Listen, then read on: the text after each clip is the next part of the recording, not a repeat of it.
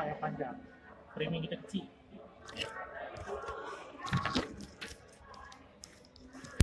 Kena duduk belah ni je. Duduk dua orang. Tak apa duduk situ bang. Susah sangat. Duduk situ. Dia bisa tak jauh. Ha? Boleh. Sini ni. Ha. Ha, duduk situ. Orang ada sini. Ha.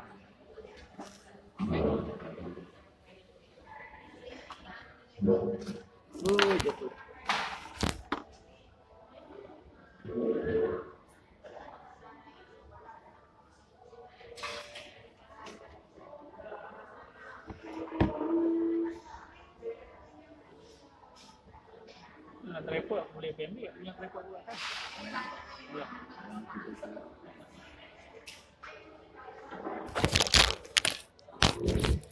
Assalamualaikum warahmatullahi wabarakatuh. Um, kami seperti biasa Atuk pejabat dah habis. Jadi kami mula nak merapu-merapu dan hari ni kami nak merapu satu tajuk um, iaitu apa uh, kenapa boleh lahirnya Punca pemikir punca pemikiran terorisme. ah punca pemikiran terorisme. Okey. Uh, pada hari ini uh, kita selalu digegarkan dengan banyak uh, geng-geng yang dikenali sebagai ISIS and Boko Haram, apa lagi Taliban dan sebagainya lah. Jadi uh, inilah pemikiran-pemikiran yang membawa kepada gerakan namakan sebagai keganasan terorisme ataupun sebutan Arab sebagai irhab. Jadi petang ni kami nak bincang tajuk ni dan kalau ada sesiapa yang nak tanya uh, boleh tanya dekat ruang komen ataupun nak komen sama ataupun nak kritik berkongsi pandangan idea uh, boleh di ruangan komen lah insyaAllah um, uh, lepas tu minta kawan-kawan share uh, like dan uh, bagi tahu pada kawan-kawan yang lain lah untuk kita berkongsi ilmu pada petang ni okay sila pegang Okey, Assalamualaikum Ustaz Wanji. Um, jadi Ustaz Wanji, sebenarnya sebenarnya saya moderator ah. Ustaz Wanji adalah seorang panel dan kita ada satu orang panel lagi iaitu uh, Saudara Amer. ah. Saudara Amer ni pun latar belakang dia ustaz juga sebenarnya. Dan dia belajar di uh, di kitab iaitu uh, mengenai apa hafazan-hafazan. Uh, Kolej Islam uh, Sains Pulau Pinang kan, antarabangsa Sains Pulau Pinang. Okey, um, kalau tak dengar cakap kalau tak dengar mungkin boleh boleh boleh sebut ah uh, apa ni boleh respon di di di, di kita punya live komen tu ah. Okey ustaz, uh, bila ustaz cakap pasal uh, terorisme ustaz kan. Sebenarnya uh, saya dua hari lepas saya tengok uh, filem Ayat Cinta ustaz. oh okay. Uh, Ayat Cinta dua ah, yang Fahri dengan Aisyah kemudian datang eh tapi watak dia orang lain kan uh, watak Aisyah uh, Aisyah tu watak dia sudah su- sudah orang lain. Ha. Fahri yang cakap kan uh, Fahri yang kekal kan. Menarik lah cerita ni. Salah salah satu dia tu ialah dia lebih cerita mengenai uh, pergolakan uh, pergolakan antara agama dan tema terorisme ni menjadi antara tema yang besar dalam cerita ni. Apabila Aisyah tu dia apa uh, bila dia pergi, pergi terlibat dalam gerakan sukarelawan dekat Mesir uh, kemudian uh, berlaku pengemboman di di, di di di apa dekat hampir dengan Gaza kemudian dia pun uh, Memang sangat best cerita dia Ustaz. Okey, tapi cerita tu kan kita cerita kita uh, itu kan cerita utama kita pada hari ini ya. Uh, cerita kita hari ini adalah um, mengenai terorisme. ah. Okey Ustaz, uh, terorisme ni sebenarnya apa Ustaz? Secara asal dia sebelum kita pergi bincang mengenai pada zaman Nabi, terorisme zaman Nabi, zaman sahabat kan. Uh, terorisme ni sebenarnya apa dia Ustaz? Okey, uh, dalam sebutan Arab, uh, teroris ni dia ada beberapa kalimah. Yang pertama adalah kalimah irhab. Yang kedua ada terganggu. Memang terganggu. kan? Uh, salam Ustaz dan orang apa ni? Orang Kebun Siang. Ha. Alright. Alamak. ada orang kenal. Alright, uh, dalam kalimah Arab, kalimah uh, um, uh, terorisme ni dia merujuk beberapa kalimah lah. Yang pertama irhab eh. Ni macam buku yang saya sedang baca ni lah. Yang buku ni satu buku eh daripada Mesir. Tajuk dia Al-Ihab wa Qataruhu ala As-Salam Al-Alami eh.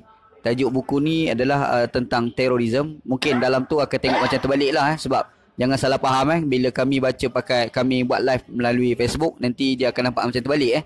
Jadi Al- Al-Irhab ni maksudnya um, keganasan ataupun terorisme. Dan uh, bahaya dia lah dalam capai keamanan eh. Alright. Jadi um, ada satu lagi kalimah selain daripada irhab yang digunakan dalam bahasa Arab merujuk pada keganasan ni adalah at-tatarruf. Tatarruf. Tatarruf, tatarruf, irhab. uh, dan dua-dua kalimah ni uh, memberi maksud ganas. Kan? Ada beza Ustaz bila tengok pada uh, kalimah tu berbeza. Adakah Hmm. maksud dia berbeza? Okey, uh, dia sebenarnya uh, uh, dia kita kena faham bahasa ni selalu ada pengaruh daripada persepsi. Okey. Jadi persepsi bahasa, penggunaan kalimah tataruf dengan penggunaan kalimah irham ni uh, ada perubahan zaman dan perubahan makna. Okey. Okey. Uh, contoh macam kalimah irhab. Irhab ni sebenarnya kalimah tu wujud dalam Quran. Oh. Turhibu nabihi adu wallahu aduwakum tu. Uh, turhibu nabihi irhab lah.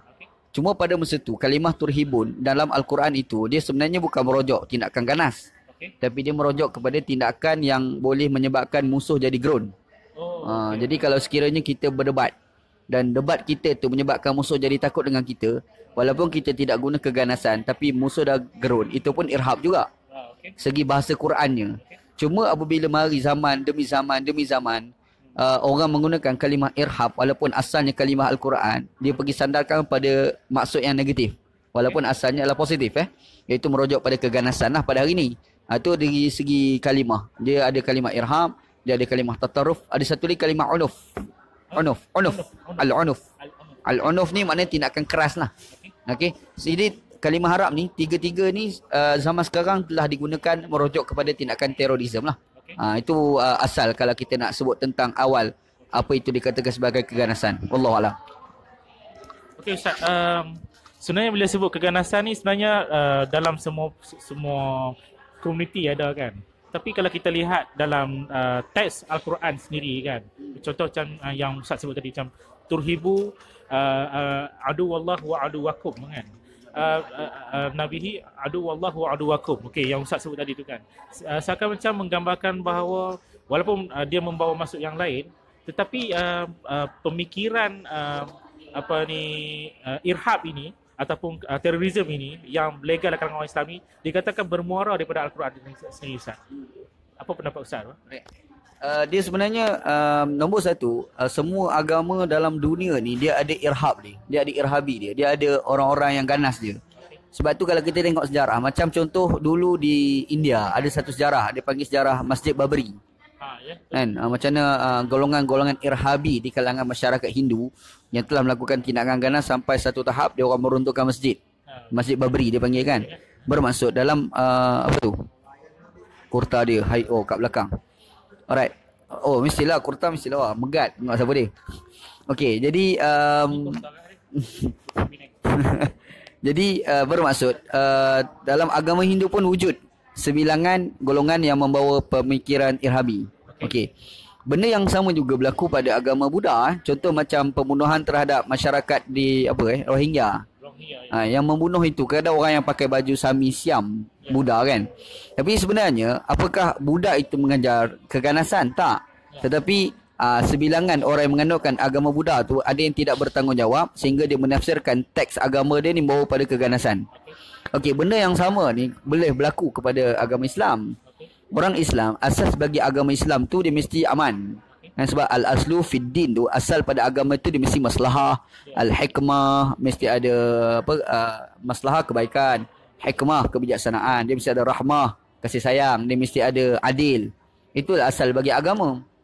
Tapi di sana ada orang yang tidak bertanggungjawab. Akhir sekali dia menggunakan ayat Quran ataupun hadis Nabi SAW ataupun terma-terma tertentu yang ditafsirkan membawa kepada ke arah uh, terorisme. Ini berlaku eh. Contoh macam uh, jihad, kalimah jihad. Dia kalimah jihad ni kalau kita tengok dia bertujuan untuk memastikan manusia mencapai keamanan. Itulah tujuan jihad. Tapi ada golongan-golongan tertentu mereka melakukan tindakan ganas, bunuh orang, sembelih orang hidup-hidup macam yang dilakukan oleh ISIS. Tapi mereka menganggap tindakan mereka itu sebagai halal dengan menggunakan kalimah jihad. Ya. Bermaksud dia bukan isu jihad hakikat bagi jihad yang dikendaki dalam agama tetapi sejauh mana kalimah jihad itu telah dimanipulasi oleh golongan-golongan yang tidak bertanggungjawab.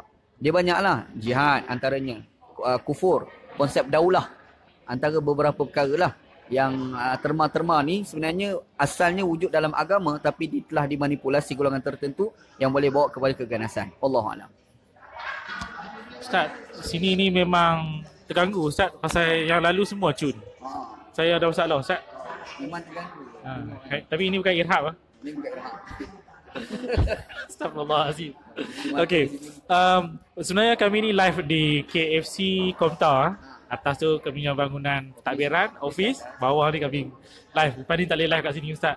Terganggu kita punya perbincangan. Okey. Um, Okey tadi Ustaz ada sebut mengenai uh, kalimah irhab, kemudian mengenai jihad kan. Kedua-dua kalimah ni ada dalam Quran kan. Sebenarnya dan Ustaz sebut kata uh, wujudnya apa ni terorisme ni kerana sakaja salah faham pa- pada maksud sebenar pada uh, uh, pada apa uh, apa turhibu ataupun dan juga jihad dalam Quran kan. Sebenarnya dalam Quran ni sebenarnya uh, turhibu bagaimana gambaran yang sebenar dalam Islam. Kemudian jihad pun bagaimana sebenarnya gambaran yang sebenar dalam Islam. Sebelum kita bincang mengenai tajuk terorisme ni Ustaz. Okey. Sebenarnya uh, kita kena pergi pada asas ataupun dalam bahasa lain panggil maqasidul Quran. Maqasid bagi Quran. Quran ni diturunkan ni dia mesti mak, nak bagi manusia jadi baik. Uh, kata al-Imam Musyatibi wudi'ati syari'atu li masalihil ibad. Syariat diturunkan untuk manusia jadi baik eh. Itu asal bagi syariat. Jadi apabila kita mengupas sesuatu ayat Al-Quran, menafsirkan satu ayat Al-Quran, kok mana pun dia mesti boleh memberi implikasi kepada kebaikan kepada masyarakat. Kan? Aku terganggu weh. Tu. Alright. Jadi bila dia memberi implikasi kebaikan kepada masyarakat, tiba-tiba uh, ada ayat Al-Quran tertentu yang ditafsirkan boleh memberi implikasi kerosakan pada masyarakat, automatik kita boleh tahu tafsiran itu sebagai salah. Alright? Itu dia punya asas dia. Jadi, bila kita sebut asalnya kebaikan pada masyarakat, maka kita tengok pula pada ayat Al-Quran yang bila Allah Taala kata turhibu nabihi adu wallahu aduwakum. Okey. Kan? Ha, dia macam mana ayat tu? Um, ada kepala ayat tu tak ingat. Macam mana ayat tu? eh? Saya saya saya cari Ustaz. Ha, cari cari cari. Apa eh? Um, Wa'iddu lahum mastata'tum min quwwah. Ha, wa min ribatil khail turhibuna bihi aduwallahu wa aduwakum. Eh? Uh, bersedialah dalam berhadapan dengan musuh kan. Jadi ayat tu dia cerita bersedia untuk berhadapan dengan musuh. Tapi akhirnya dia guna turhibu nabi adu Allah wa aduwakum. Kamu tu menggerunkan musuh. Bermaksud kita bayangkan uh, nombor satu kita kena jelas dulu apa maksud perang yang dikenaki dalam agama. Islam ni ajar perang ni kita bukan memulakan tetapi perang ni berlaku apabila berlaku beberapa perkara. Apa dia? Antaranya adalah apabila wujud kezaliman, penindasan, pembunuhan. Maka berlakulah perang. Ustaz. Ha, satu. Yang kedua adalah apabila orang serang kita, kita kena serang balas. Itu asas dia. Sebab Quran kata waqatilu fi sabilillahi alladhina yuqatilunakum wa la ta'tadu. Perangilah mereka apabila ber- berperanglah kamu di jalan Allah SWT terhadap mereka yang memerangi kamu. Tapi ada sambungan ayat wala ta'tadu jangan kamu melampaui batas. Menandakan perang ni kalau kita saja-saja nak pergi serang tak boleh. Tapi bila orang serang kita, kita kena mempertahankan diri. Kan? Bila kita mempertahankan diri, maka berlakulah peperangan untuk nak memastikan kita tidak naif dalam menjaga sebuah kerajaan. Alright. Jadi, apabila kita diserang oleh musuh, macam mana kita nak memastikan musuh yang nak menyerang, bakal menyerang tu jadi ground sehingga dia tak nak menyerang. Yang tu yang dimasukkan wa'idu lahum mastata'tum min quwwa min ribatil khail turhibuna bi adu wallahu aduwakum. Ya Allah Taala kata kena ada persenjataan, persiapan menggerunkan musuh supaya musuh tidak menyerang kita. Tapi masalah dia sekarang, apabila orang menggunakan ayat tersebut dalam bukan dalam kerangka itu. Dia gunakan dalam kerangka untuk melakukan kejahatan. Dia telah membunuh orang, telah melakukan pembunuhan, kezaliman sembelih orang hidup-hidup.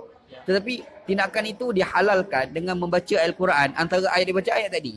Ha, bermaksud kita akan nampak isu sebenarnya adalah mana, macam mana mereka telah memanipulasi ayat Al-Quran, memanipulasi hadis Nabi sallallahu alaihi wasallam untuk menghalalkan kejahatan. Itu isu sebenar. Wallahu alam. Tu Amir nampak. Okey, Amir pun dah ah itu kita punya kawan dah sampai ah. Okey, apa ni uh, tadi Ustaz dah sebut mengenai jangan melampaui batas kan. Uh, saya teringat saya tak pasti sama ni hadis ni sahih ataupun tak kan.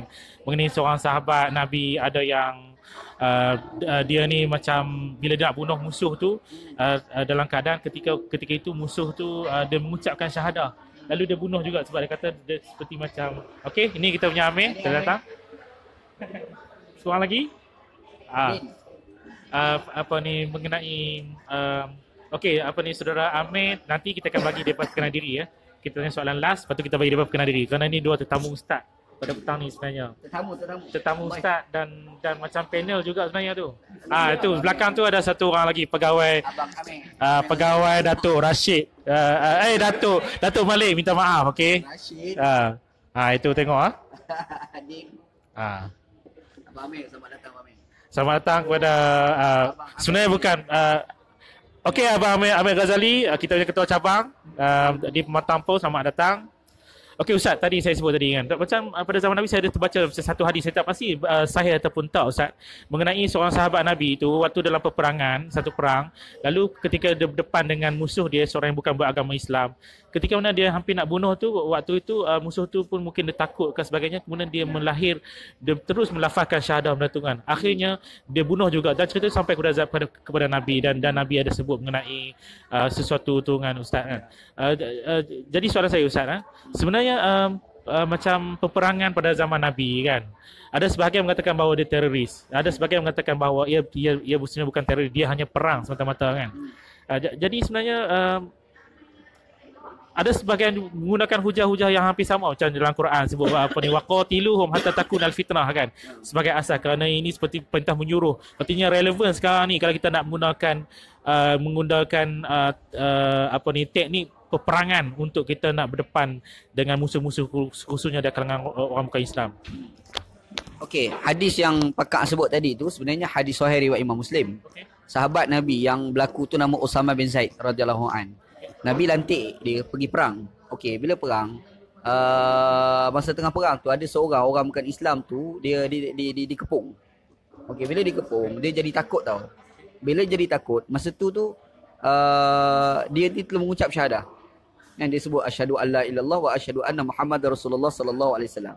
Okey, bila dia mengaku begitu, si Osama bin Zaid kata, dia ni sebenarnya menyebut syahadah bukan sebab dia nak masuk Islam, tapi sebab dia takut kena bunuh. Makanya Osama bin Zaid ni telah bunuh dia. Dalam hadis tersebut, selepas daripada Osama bin Zaid bunuh tu, Osama bin Zaid rasa tak tenang. Okay. Kalau hadis tersebut, fawaqa syai'un fi nafsi. Okay. Berlaku sesuatu perkara yang tak sedap dalam hati aku. Okey, bila dia rasa tak sedap tu, menyebabkan dia pergi laporkan fadzakar tu dzalika lin Nabi sallallahu alaihi wasallam. Aku ceritalah benda tu dekat Nabi sallallahu alaihi wasallam. Bila cerita dekat Nabi sallallahu alaihi wasallam, Nabi sallallahu alaihi wasallam ni tanya soalan dekat dia. Dia kata aqala la ilaha illallah wa qataltahu? Nabi tanya. Eh bukankah dia telah menyebut la ilallah dan kamu tetap bunuh dia? Soalan eh. Jadi bila tanya macam tu, uh, Nabi wasallam tanya macam tu. Jadi Usama bin Zaid kata, "Ya Rasulullah, qala la ilaha illallah khaufan minas silah." Dia sebut la Allah ni bukan sebab ikhlas. Dia sebut ni sebab dia takut dengan senjata, takut kena bunuh. Lepas tu uh, Nabi ulang balik. Dia pun ulang balik. Dia ulang-ulang-ulang tu, last kali dia kata alangkah baiknya kejadian itu berlaku ketika aku tidak memeluk agama Islam lagi. Ha, ni cerita hadis tu dalam matan yang lain ada diceritakan pada masa tu uh, Nabi sallallahu alaihi wasallam tanya soalan dekat dia. Itu dalam matan yang lain. Ada seorang kawan kita datang. Hmm. Ha? Ha. Nama apa? Amar, Amar, Amar. Da'i. Ha. Alright. Jadi um, aku cerita kat mana tadi? Okey, jadi bila adalah matan hadis yang lain, anda tak silap dalam riwayat Al-Imam Al-Bukhari. Dia disebut Nabi kata asyaqaqta an qalbihi asyaqaqta an qalbihi hatta ta'rifu annahu qala la ilallah. Apakah kamu telah bedah dada dia sehingga kamu mengetahui bahawasanya hati dia benar-benar mengatakan la ilallah. Jadi hadis tu uh, menggambarkan bahawasanya kita ni tidak boleh uh, mengorek apa yang ada dalam hati manusia. Kan? Ada seorang ulama dalam dunia Islam pada hari ini namanya Dr. Abdul bin Bayyah. Dia kata antara perkara bid'ah pada zaman sekarang adalah kita mengorek keimanan orang. Antara perkara bid'ah yang berlaku pada eh, antara perkara bid'ah yang berlaku dalam kalangan orang Islam dulu sampai hari ini adalah mengorek keimanan yang ada dalam hati manusia. Maksudnya kita ni tidak dituntut untuk bagi tahu apa yang ada dalam hati orang tu sama ada dia beriman ke munafik ke kafir ke tidak dituntut. Eh? Tapi problem pada orang terorisme ni, orang terlibat dengan keganasan ni, mereka ni ada satu elemen yang orang mudah menuntut seseorang itu sebagai terkeluar daripada agama ataupun mudah mengatakan orang tu sebagai munafik ataupun dalam bahasa agama disebut sebagai at-takfiri mengkafirkan orang kan. Kenapa? Sebab mereka telah mengamalkan satu bid'ah yang telah disebut oleh Dr. Abdul bin Bayah tadi. Iaitu mengorek iman yang ada di dalam hati manusia. Okey, apa dalil bin Bayah mengatakan bahawasanya uh, mengorek iman dalam hati orang tu sebagai bid'ah? Hadis yang kita cerita tadi. Kan? Hadis Osama bin Zaid. Hadis tu diriwayatkan oleh Al-Imam Muslim. Allahu a'lam. Ustaz, kita dah ramai Ustaz. Kita kalau pindah pergi situ okey Ustaz? Boleh, boleh. Ha, kita pindah. Okey, uh, kita akan pindah ke tempat yang lain uh, sebab sebab ramai. Penonton boleh tanya soalan. Eh? Okey, kam.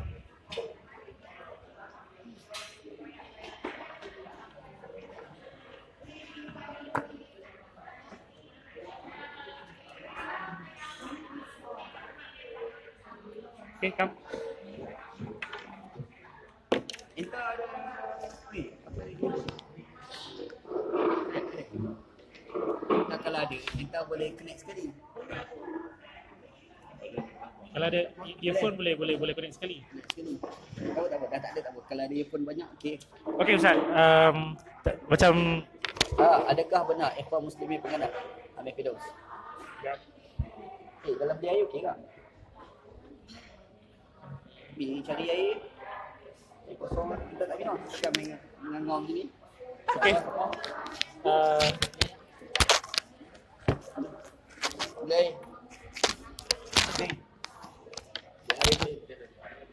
Tapi air ni air panas kan? Pen orang apa? Okey Ustaz, de- dekat sini ada ada beberapa soalan. Tadi zon pindah rendah pula. Ha, orang Ha. bini ramai. Ha, tahu tak ba? Okey, apa ni? Sebenarnya dekat sini ada beberapa soalan. Okey, sebelum tu uh, saya nak flash balik. Uh, kita sekarang tengah bincang mengenai uh, satu tajuk yang penting iaitu mengenai punca uh, pemikiran uh, terorisme ataupun irhab kan. Dan bersama kita ada Ustaz Wanji dan kita ada tiga tetamu kita, orang kuat kita di Pejabat Datuk Malik. Ah, kawan-kawan kami kat sini dan sebenarnya mereka juga bukan beri pendengar, mereka juga akan uh, turut akan boleh bertanya soalan, beri pendapat dan juga mungkin boleh provoke Ustaz Wanji. Kerana yang akan jawab Ustaz Wanji bukan saya. Okey, insya-Allah. Okey, um okey um sebelum kita pergi kepada ada, ada sudah ada sebenarnya ada tiga soalan Ustaz. Tapi sebelum tu saya nak tanya Ustaz juga. Sebenarnya macam pemikiran irhab uh, yang yang bermuara pada Al-Quran uh, dan, dan juga hadis kan uh, apa sebenarnya apa sebenarnya punca sebenarnya pemikiran-pemikiran ini boleh wujud sebenarnya dalam kalangan orang Islam sedangkan Nabi jelas menunjukkan sikap yang begitu aman se- sebegitu kan Okey, sebenarnya kalau kita bincang daripada sudut asas, pemikiran keganasan ni semua ni bermula daripada konsep daulah, konsep kerajaan. Apabila orang meletak satu kepercayaan bahawasanya kita perlu membina satu kerajaan yang dinamakan sebagai kerajaan Islam. Daulah al-Islamiyah lah. Sebenarnya kita kena clear awal ya, secara teks. Cari teks, maksudnya cari Quran, hadisnya. Kalau nak cari uh, teks yang menyebut tentang kalimah daulah Islamiyah ni tak ada sebenarnya. Kalimah tu tak ada eh. Uh, tetapi yang uh, uh, tetapi orang berhujah mengatakan kewujudan konsep negara Islam.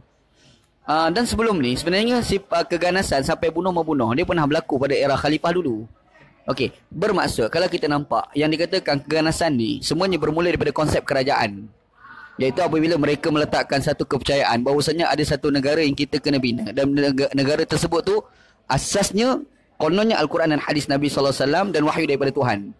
Dari sudut sejarah yang mengamalkan uh, amalan keganasan menggunakan Quran dalam isu ke, ke, kepolitikan ni uh, Khawarij. oh waris Khawarij. Namanya Khawarij. Dia bergaduh dengan sahabat Nabi ketika itu tak puas hati dalam isu kerajaan. Ali bin Abi Talib dia lawan. Omar bin Al-Khattab. Pada ada orang kata bermula daripada zaman Ali. Ada orang kata bermula pada zaman Osman. Pada zaman tu mereka dah berlawan dan semua tak puas hati kerana konsep kerajaan. Jadi di situ tu timbul manipulate teks-teks Al-Quran dan hadis Nabi sallallahu alaihi wasallam yang menafsirkan tindakan-tindakan jahat mereka. Kan benda ni pernah disebut oleh Nabi sallallahu alaihi wasallam sebenarnya.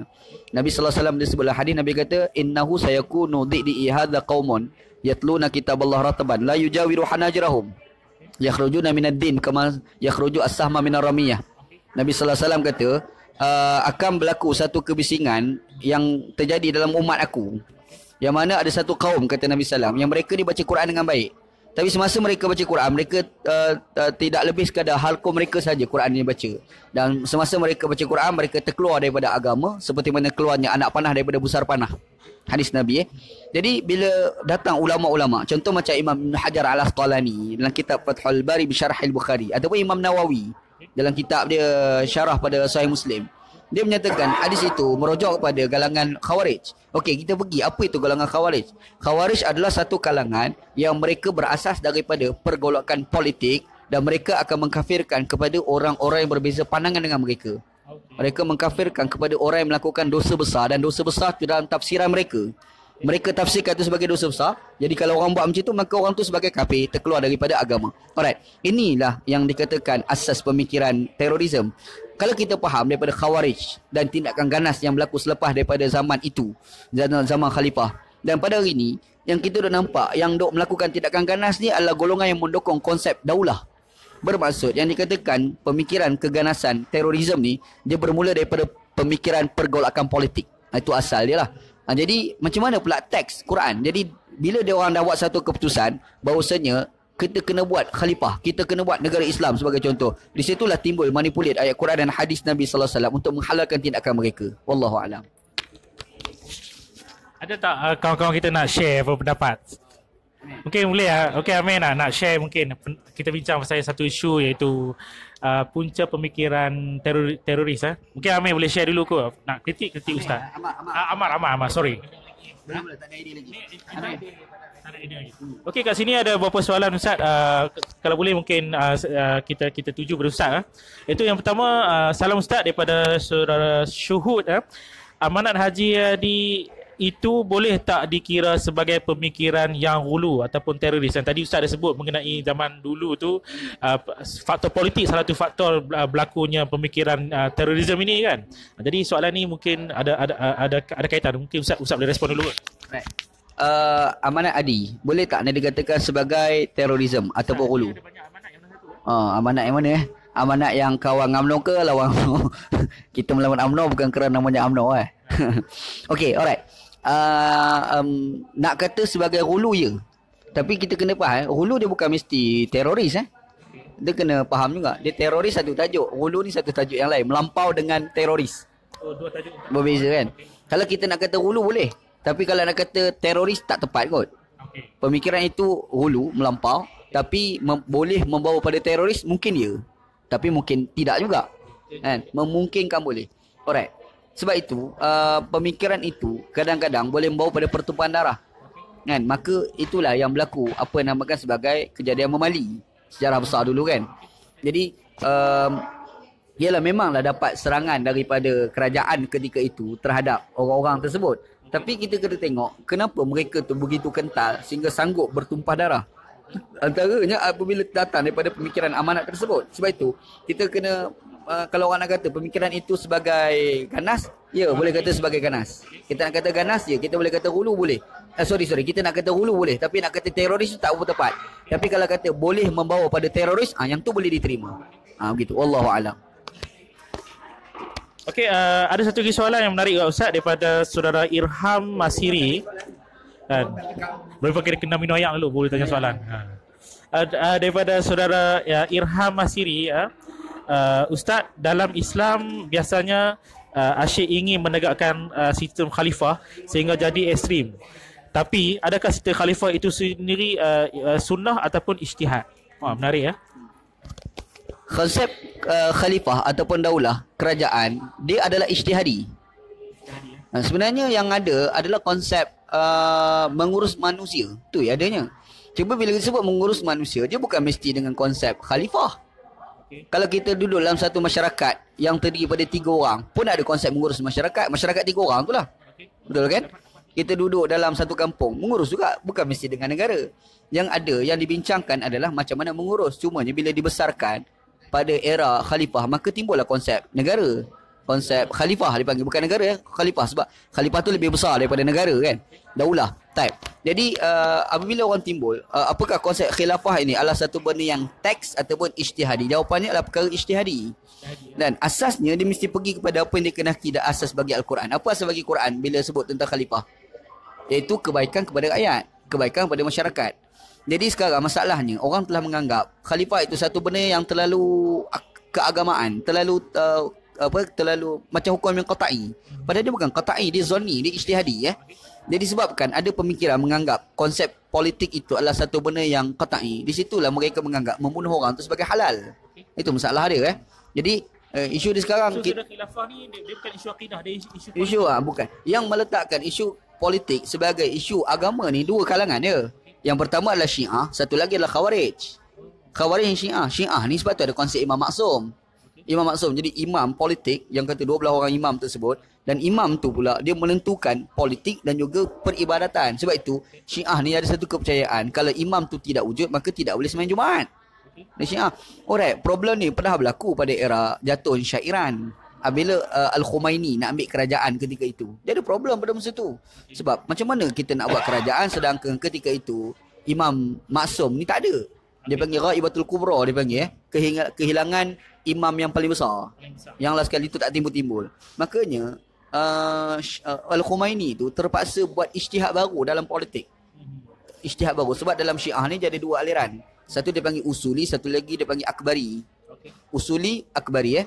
Jadi bila sebut usuli, uh, dia ni bersifat macam usul fiqh. Dia orang ada ijtihad. Akbari ni dia dia dia dia dia, dia apa dia dia, dia, dia pakai apa? Ortodok lah kalau dalam Syiah dalam Kristian tu ortodok. Dia nak pakai yang pure tu kan. Alright. Jadi uh, Khomeini ni dia usuli. Sebab itu dia tulis kitab berkenaan dengan wilayatul faqih. Dia cadangkan wilayatul faqih ni sebab nak ganti kepada imam maksum yang gaib, yang tak ada. Okey, kenapa benda jadi polemik dalam Syiah? Sebab Syiah menganggap isu politik adalah isu akidah. So, tidak. eh? Serupa juga berlaku pada Khawarij. Khawarij menganggap isu politik adalah isu akidah. Yang ni berbeza dengan Ahli Sunnah wal Jamaah. Yang kita orang Ahli Sunnah wal Jamaah. Ahli Sunnah wal Jamaah tidak menganggap isu polit, isu apa isu kerajaan ni sebagai isu akidah. Ahli Sunnah wal Jamaah menganggap ini isu fiqh, isu yang melibatkan kepada ijtihad, pandangan-pandangan pemerintah. Bahkan dia tidaklah disyaratkan mesti ulama. Tak. Sebab itu dalam sejarah Islam dulu uh, dia mesti ada tajuk al ulama wal umara. Umara satu, ulama satu. Dia tak mengatakan mesti ulama jadi umara. Dia mesti ada klasifikasi di situ. Ustaz cakap ni macam ulama muda pas. eh? Oh, eh ulama muda PAS. Oh, tak, ulama muda PAS yang kata ulama mesti pemerintah kan. Yang kita ni bukan ulama PAS. kan? Jadi konsep tu asalnya adalah um, dalam sunni sebab tu dia dalam tradisi khalifah dulu dia mesti ada beza khalif umara dan ulama. Ulama ni datang untuk menasihati ulam umara. Dia bukanlah umara itu mesti ulama. Betul tak? Ini tradisi sunni.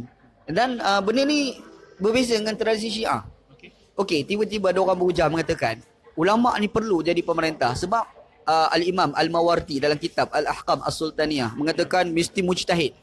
Jadi kita kena faham juga kenapa Al-Imam Al-Mawardi mensyaratkan sebegitu. Sebab dia mensyaratkan sebegitu kerana dia dalam konteks zaman yang disebut sebagai zaman Abbasiyah. Dia mengeluarkan ha, zaman beraja dia mengeluarkan pandangan itu sesuai dengan konteks. Itu pun ijtihad dia. Tapi bila kita pergi lebih dalam, lebih dalam, asas bagi politik dalam sunni ni dia dua perkara je. Inna khaira man istajartal qawiyul amin.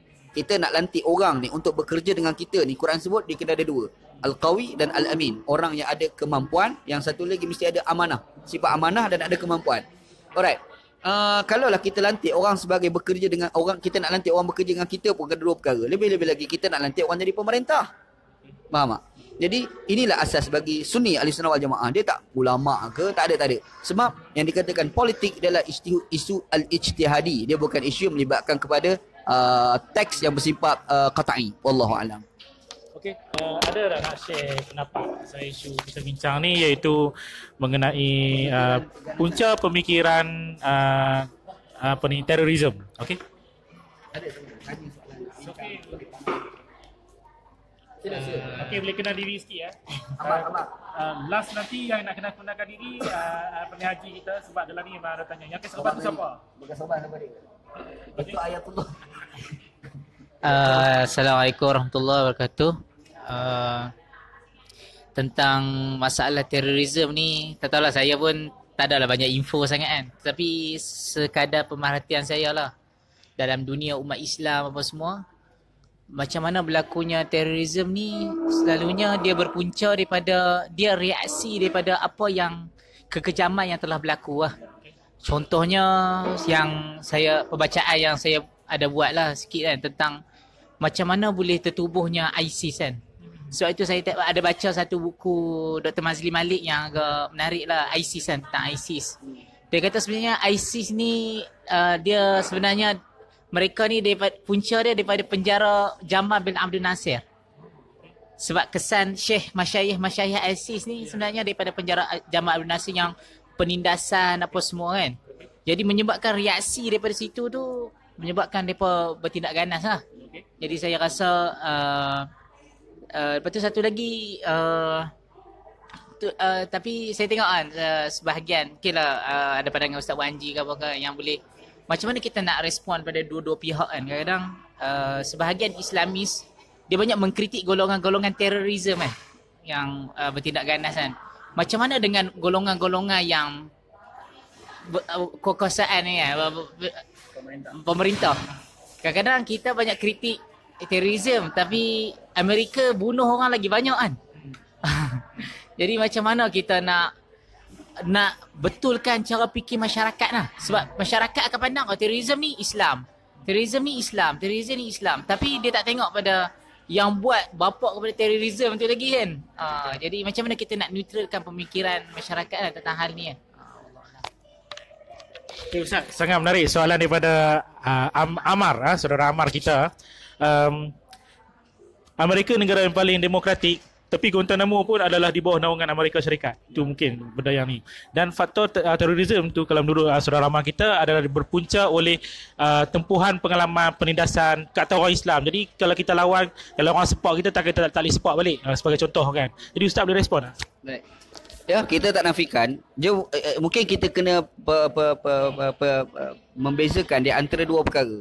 Yang pertama adalah orang react terhadap kezaliman. Satu lagi adalah orang yang telah manipulate terhadap kezaliman yang menyebabkan dia rasa nak buat zalim yang lain. Dia dua benda berbeza. Alright. Contoh, ada satu gerakan dalam dunia ni namanya Ikhwan Muslimin. Ikhwan Muslimin. Alright. Ha, Ikhwan Muslimin sebagai contoh. Ikhwan Muslimin ni ramai orang menuduh sebagai pemula kepada pemikiran terorisme.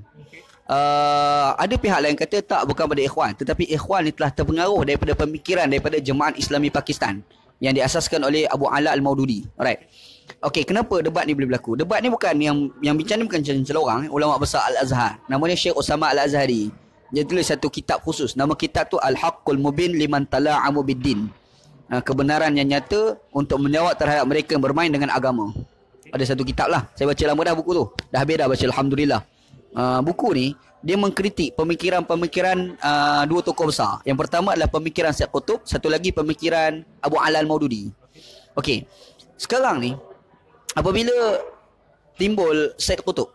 Syed Qutub ni kalau kita baca asas pemikiran dia, dia ni antara orang yang telah terpengaruh dengan pemikiran sosialisme.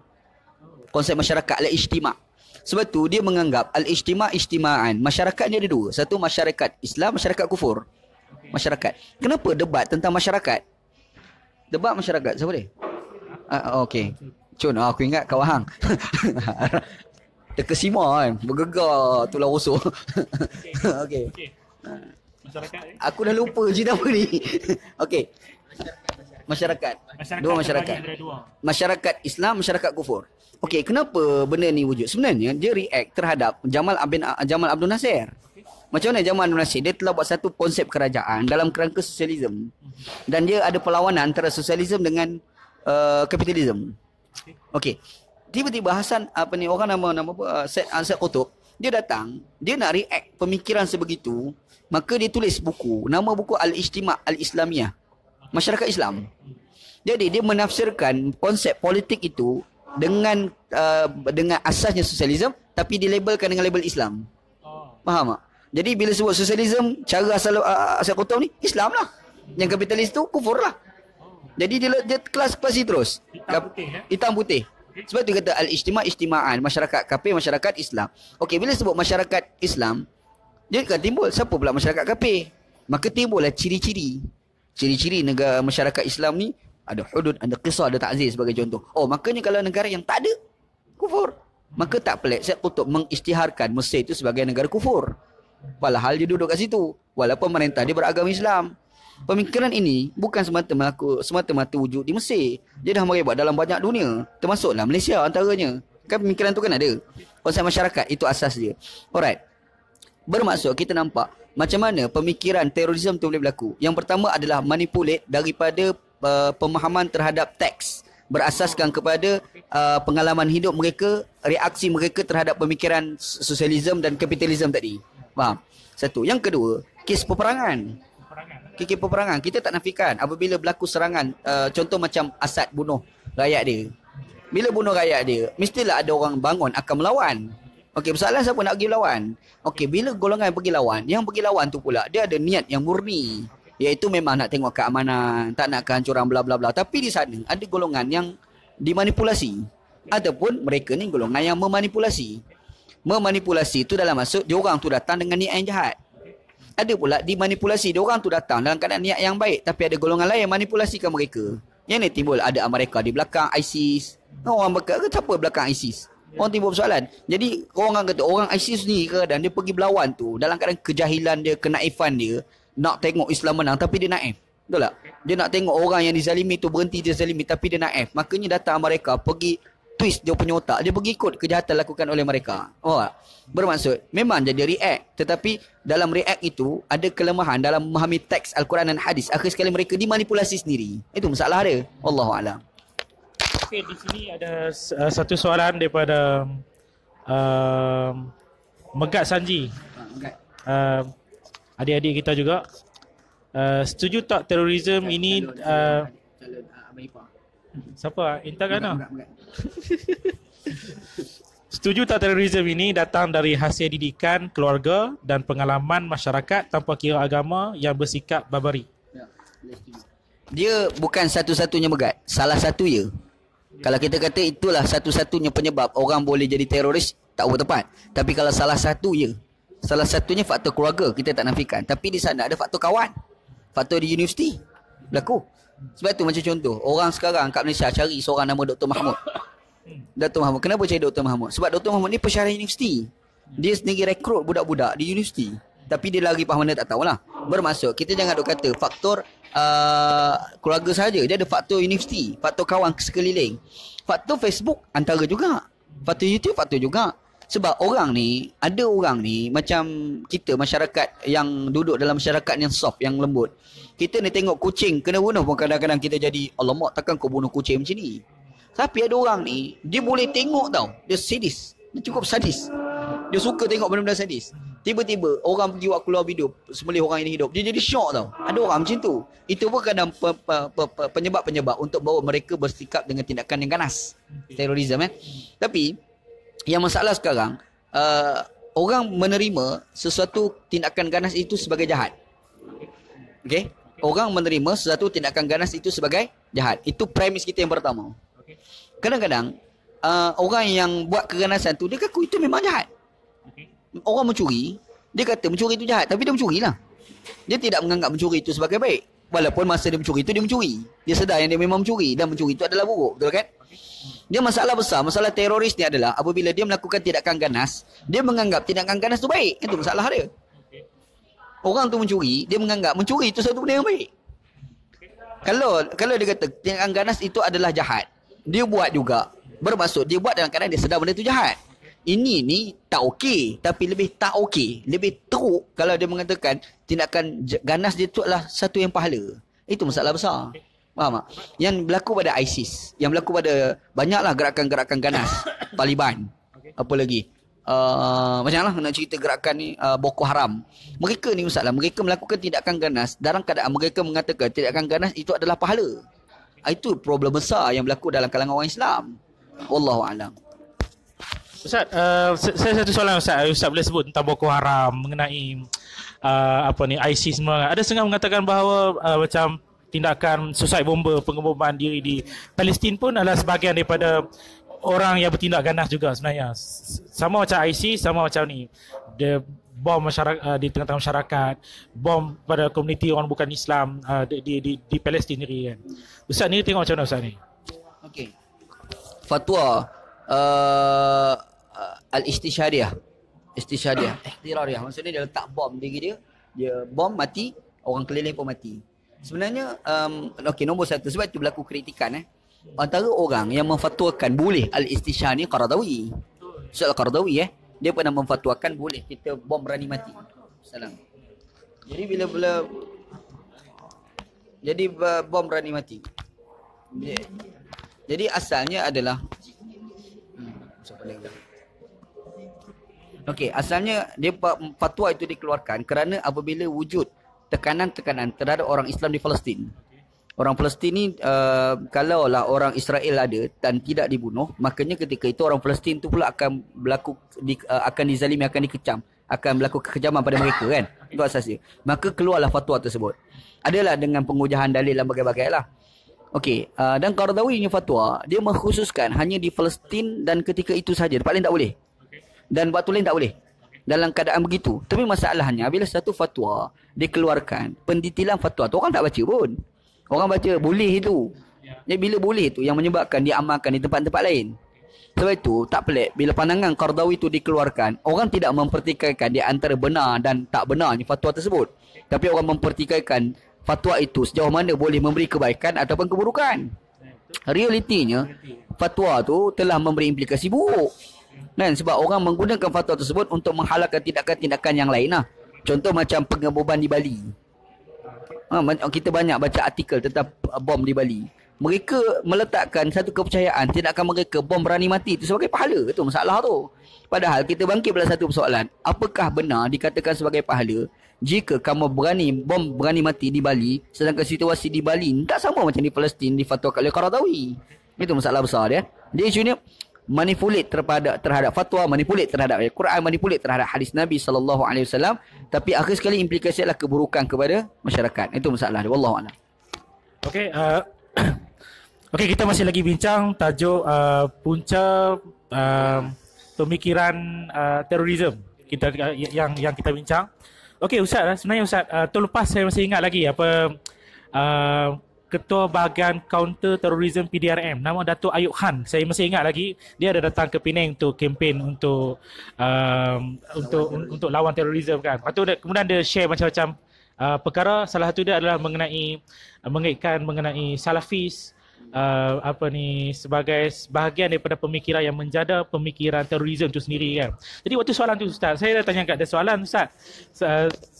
Bersema lama. Jadi saya pun saya nak usir dia sebenarnya, sebenarnya Ustaz. Nah, jadi saya tanya soalan kat dia kan. Adakah dengan dengan pendapat akhir dia tu saya tanya adakah bermakna bahawa satu negeri Perlis itu adalah negeri yang yang uh, yang pro kepada menjana teroris kerana mereka pun adalah salafis, kemudian adalah darus sunnah bla bla sebagainya kan. Jadi soalan tu uh, memang tak jawab. Sebenarnya itu bukan soalan.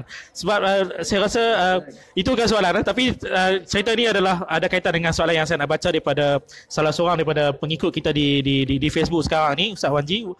Iaitu nama dia adalah Azhar Muhammad.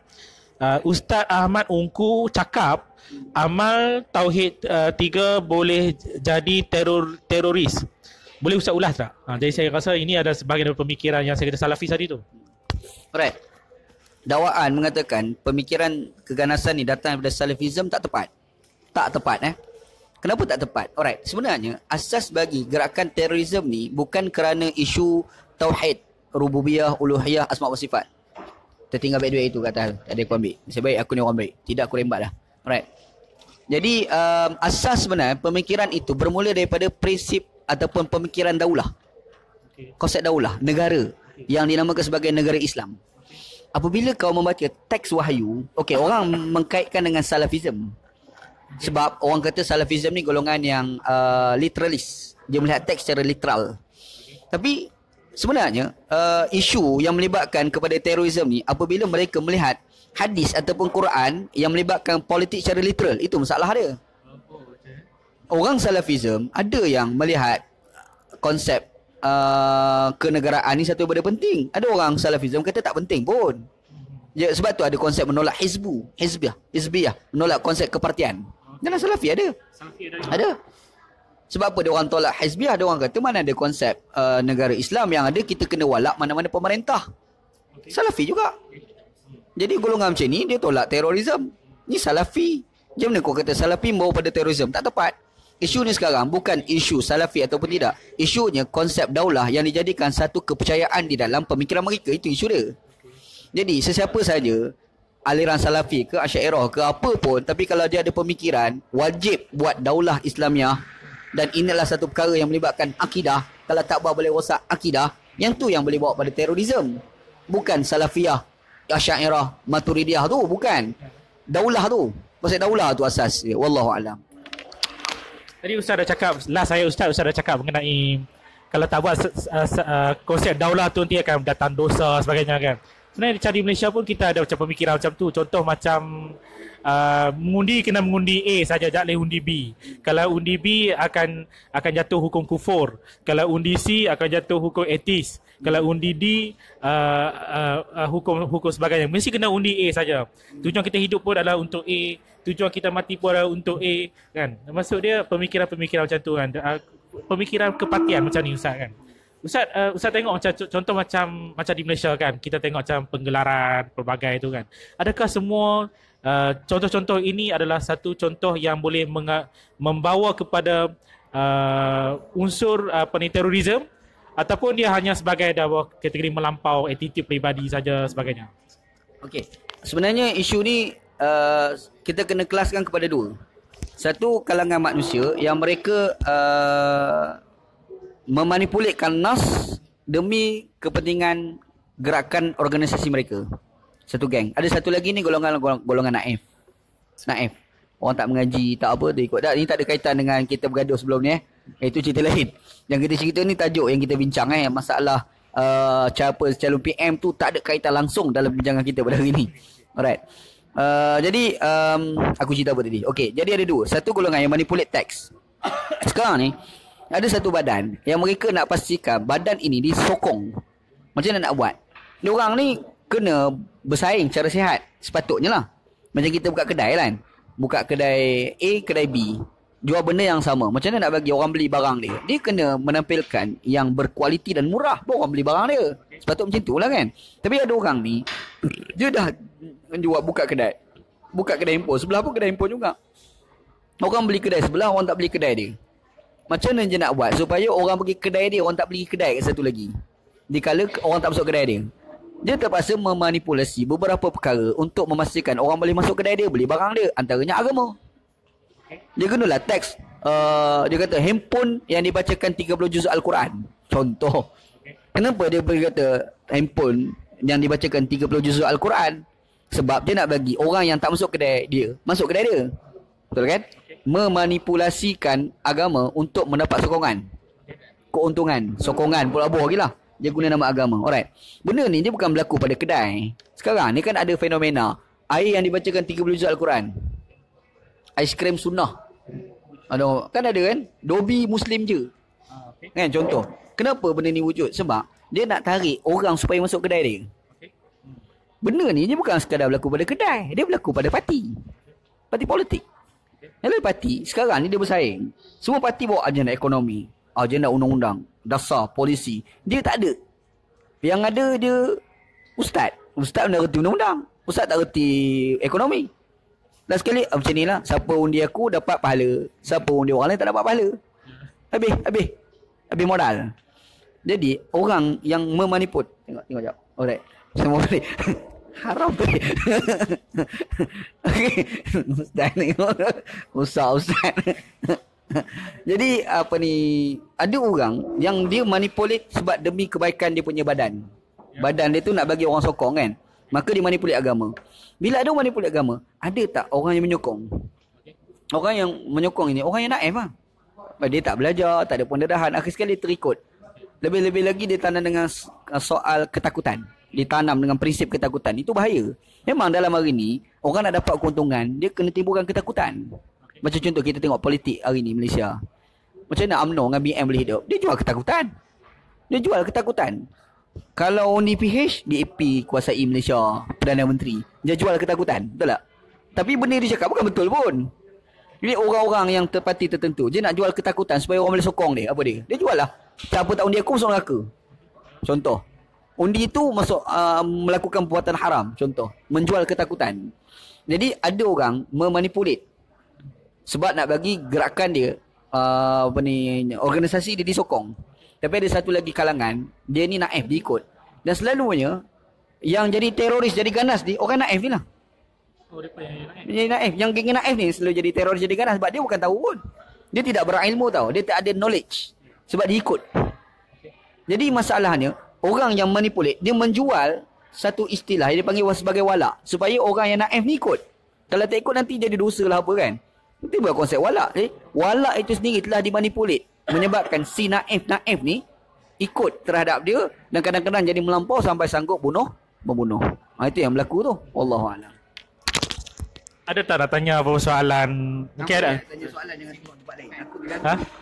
Ah, okey okey. Okay, um, sini Ustaz. Okey. Saya Zainuddin lah. Kawan kepada Ustaz Wajib.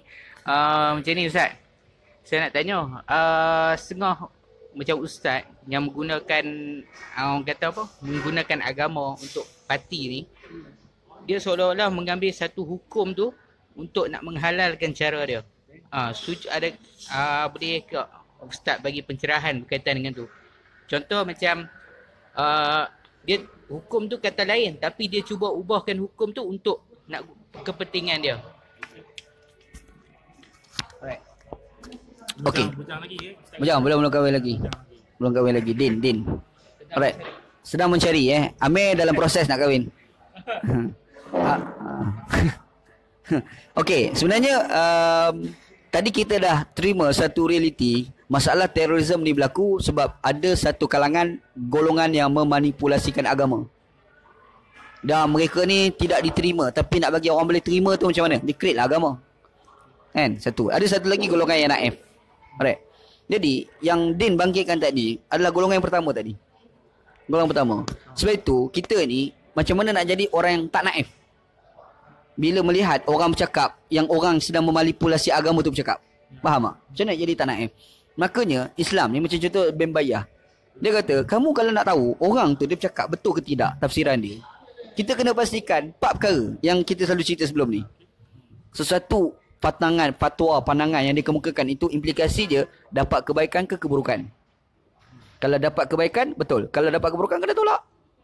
Yang kedua, dia mesti ada hikmah kebijaksanaan. Bukan kejahilan, bukan kebodohan. Yang ketiga, dia mesti rahmah. Rahmat, bukan ke pemusuhan.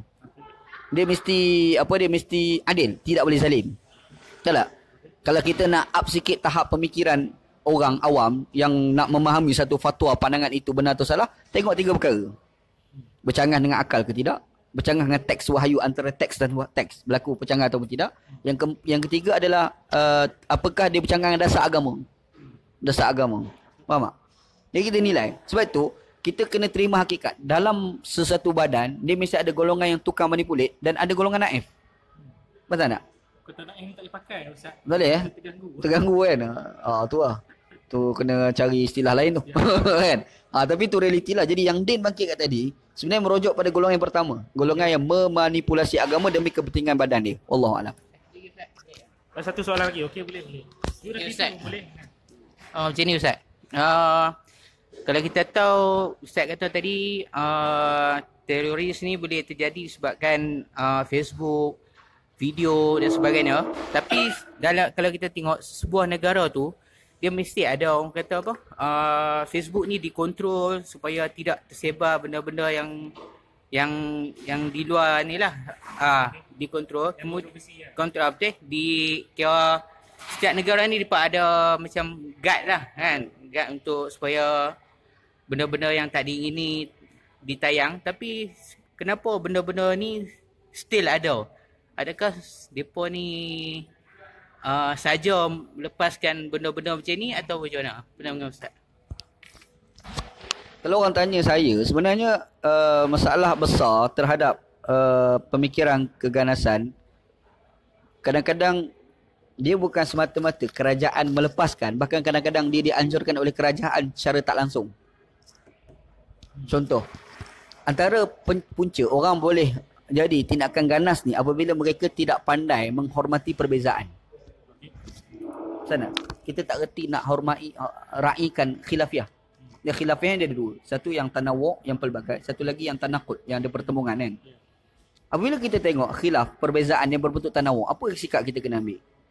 Ta'awun. Saling bantu-membantu. Betul lah. Ra'i mera'ikan. Ha. Jadi itu dia panggil tanawuk. Tapi ada satu lagi tanakut. Tanakut, cara mengatasi perbezaan yang berbentuk pertemuan itu, dia mesti ada hikmah, kebijaksanaan. Sana. Masalah sekarang, realiti pada hari ini, kita tengok, contoh di Malaysia sebagai contoh. Kita kena ingat eh, kajian POTA membuktikan antara Malaysia dengan Indonesia, uh, orang Islam yang terlibat dengan keganasan, enam kali ganda segi peratusan berbanding Indonesia. Malaysia lagi tinggi. Enam kali. Ini kajian POTA.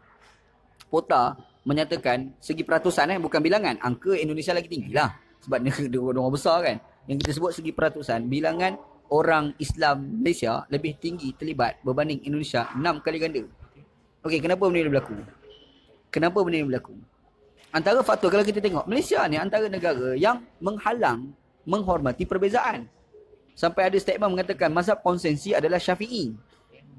Betul tak? Indonesia sifat meraihkan antara kan maksudnya kerajaan bila Din bangkitkan tentang dia kata uh, kerajaan tidak menghalang dia kadang-kadang bukan tidak menghalang je bahkan dia sendiri mengarahkan pemikiran orang ke arah itu Kerajaan tu sendiri.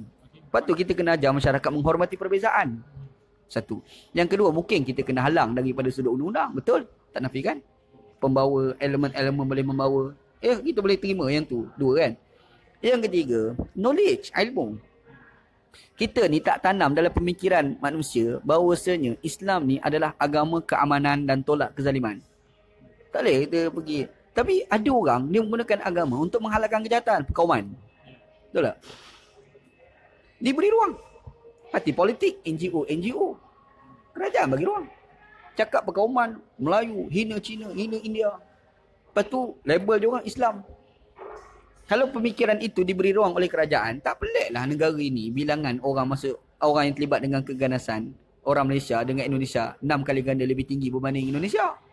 Maksudnya satu mungkin halang tapi cara halangan tu meragukan satu. Yang kedua, kerajaan pun sendiri menganjurkan amalan tersebut secara tak langsung, secara tak sedar. Faham tak? Itu real lah. Lepas tu uh, contoh macam kita nak uh, mengajar masyarakat supaya kita kena ada knowledge. Semua kena wacana, kena bincang. Jangan taat buta-buta apa orang cakap. Kena ada skeptical, skepticalism. Kita bukan dengar bulat-bulat tapi kita kena ada proses berfikir. Tapi benda ni dihalang oleh pihak kerajaan sendiri. Orang agama kat Malaysia yang ada nama kat Malaysia, dia ajar orang jangan tanya. Terima bulat-bulat. Betul tak? Jangan petikai. Petikai tu nak bubuh orang uh, murtad lah apa dia bubuh. Bermaksud sifat kerajaan itu sendiri tidak mengatasi masalah tu. Itu real dia. Wallahu alam. Okay, uh, di sini masih ada satu soalan. Okey. Okey, respon respon. Uh, saya tengok macam uh, daripada segi sudut politik lah kan. Saya tengok macam kepelbagaian parti tu sebenarnya dia satu benda yang baik lah untuk check and balance kan antara satu sama lain. Sebab kalau satu parti saja yang berkuasa dia akan rasa selesa dan dia boleh buat apa saja yang dia mau kan. Tapi kepelbagaian tu bagus. Cuma saya tengok macam macam mana kita nak uh, uh, untuk kita nak respon lah dalam keadaan macam sekarang ni persaingan parti tu sepatutnya persaingan parti ni sepatutnya merujuk kepada apa yang dapat memberi kemaslahatan yang terbaik kepada rakyat. Sepatutnya persaingan uh, persaingan tu lah yang sihat tu dari segi dasarnya apa perjuangannya apa yang kebaikan dia bagi, bagi boleh bagi pada rakyat apa apa apa yang maksudnya apa yang Allah keadilan yang dapat dia dapat sebarkan kan. Yang tu yang patut persaingan-persaingan yang macam tu lah. Tapi saya tengok dalam konteks Malaysia ni persaingan tu hanya pertama guna agama yang kedua sentimen. Guna agama untuk macam mana nak nak nak tarik orang masuk parti dia? Agama. Label kan. Macam Ustaz Wanji kata tadi lah. Ah Jual aiskrim tak laku, besing-besing-besing-besing. Akhirnya aiskrim sunnah kan. Satu lagi sentimen ketakutan tu selalu disogokkan. Oh, habislah Melayu, habislah orang Islam, habislah so, so saya tengok macam macam mana kita nak refreshkan masyarakat. Saya tengok macam orang-orang tua lah. Saya tengok uh, kalau orang muda tu mungkin agak okey lah. Tapi orang-orang tua ni dia kata habislah kalau kata PH perintah ke apa ke habislah Melayu apa semua kan. Tapi saya tengok sekarang ni pun tengok lepas pembahagian kursi tu saya tengok macam okey kan. Macam isu tu tak timbul sangat. Sekarang ni isu Mahathir tengok kan. Saya bukan orang fikir uh, tapi saya tengok macam uh, so saya tengok itulah gunakan agama apa semua. Saya tengok uh, sentimen saya pun tak nafikan jugalah. Belah pembangkang pun banyak sentimen juga kan. Tapi macam mana kita nak bagi macam mana yang yang Allah suruh tu kan? Wala takhfu ma laysa laka bi ilm inna sam'a wal basara wal fuad. Kullu ulaika kana an mas'ula. Macam mana kita nak yeah. nak nak push ke arah tu? Ha macam tu. Allah alam. Itu bukan soalan itu pandangan je itu pendapat. Okey uh, ustaz di sini ada dua soalan dia tanya soalan lepas tu dia kata cepatlah ustaz. Wani jawab soalan saya ustaz. Jadi saya pun ketar-ketar saya, saya kena jawab kena jawab sampai dia terkencing ah. okey uh, uh, soalan sangat menarik daripada Amy Cool uh, dan juga uh, Wan Hafiz. Saya ingat soalan ni dua-dua sama jadi saya cuba cuba untuk baca dua-dua sekali ya untuk ustaz. Pertama betul ke ISIS tu golongan khawarij? Ada perbezaan tak khawarij dengan syiah? Itu soalan daripada Amy, Amy Cool. Yang kedua uh, daripada Wan Hafiz, Ustaz apa konsep uh, keadilan berdasarkan pada Al-Quran dan hadis dan Eh, bukan bukan bukan ini silap silap. Ada satu lagi soalan. Uh, apa pendapat uh, pandangan Ustaz Wanji tentang statement yang mengaitkan Saudi, Arab Saudi dengan punca terorisme di tanah Arab sekarang? Uh, dua soalan Ustaz. Okey, Khawarij dengan Syiah, beza dia adalah dalam Syiah, okey, kesamaan dia adalah kedua-duanya menganggap politik isu akidah. Itu kesamaan. Kesamaan Syiah dengan Khawarij, kedua-dua tu beranggapan politik adalah isu akidah. Satu, premis eh. Alright. Yang kedua, ada perbezaan. Perbezaan di mana? Uh, dalam Syiah, dia ada konsep Imam Maksum. Dalam sun, dalam Khawarij tidak ada konsep Imam Maksum. Dan Imam Maksum di sini merujuk pada ahli keluarga Nabi sallallahu alaihi wasallam daripada keturunan Nabi Ali dan Fatimah. Di situlah susukan Hasan Husain bla bla bla turun tu kan. Yang disebut sebagai Imam 12 tu lah. Alright. Itu Syiah. Konsep Imam Maksum dalam Syiah itu tak ada dalam Khawarij. Tak ada. Alright. Okey, uh, Syiah dia memegang teguh Ali bin Abi Talib. Khawarij mengkafirkan Ali. Oh, dia terbalik ke situ pula. Ini perbezaan. Alright. Cuma uh, bila kita timbul zaman sekarang, ISIS nak dikategorikan sebagai Syiah tak tepat. Kenapa? Tak tepat. Sebab dia orang tak ada konsep Imam Maksum. Dia orang tak semestinya keturunan Nabi nak jadi khalifah. Tak. Dia tak ada konsep tu dalam ISIS. Tapi dalam ISIS kalau kita nak kata iras-iras dengan Khawarij, ya. Ya. Konsep dia uh, mengkafirkan orang berbeza, pelaku dosa besar boleh dibunuh, bla bla bla kan.